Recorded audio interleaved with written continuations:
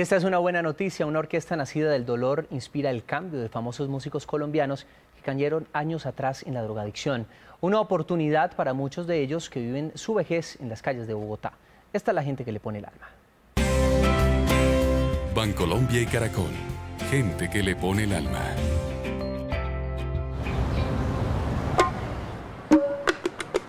Dairo Cabrera es un músico de sangre caribeña que hace seis años encontró en la calle el sabor de la salsa, escondido entre puentes, chatarra y vicio. Y fue cuando aparecieron eh, estos eh, músicos, convirtió a Son Callejero en una banda netamente de habitantes de la calle, que no es la actualidad. La música es la alegría del espíritu. Es algo que tiene mucho poder. Talentos que alcanzaron la fama en orquestas de música tropical como Los Niches, El Nene y sus Traviesos y The Latin Brothers, pero que saltaron de las tarimas directo a vivir en la calle. Trabajé con grandes artistas internacionales. Y han vuelto a la vida de la mano de este bolivarense. La música es una vitamina para el alma. Con el afán del rebusque diario, estos músicos tienen en el son callejero la razón para mantenerse con los pies en la tierra. Tenemos que estar para adelante, para adelante, para adelante, como el elefante.